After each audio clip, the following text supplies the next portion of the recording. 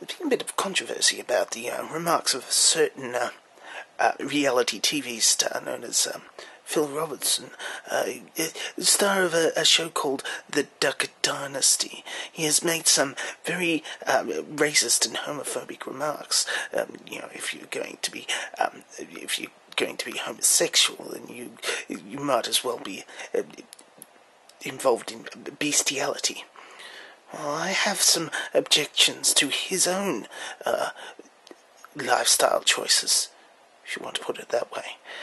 Apparently, he spends all year making these devices, and um, during a certain part of the year, what he does is he takes these devices and uses them, uses them to lure ducks with promises of sex.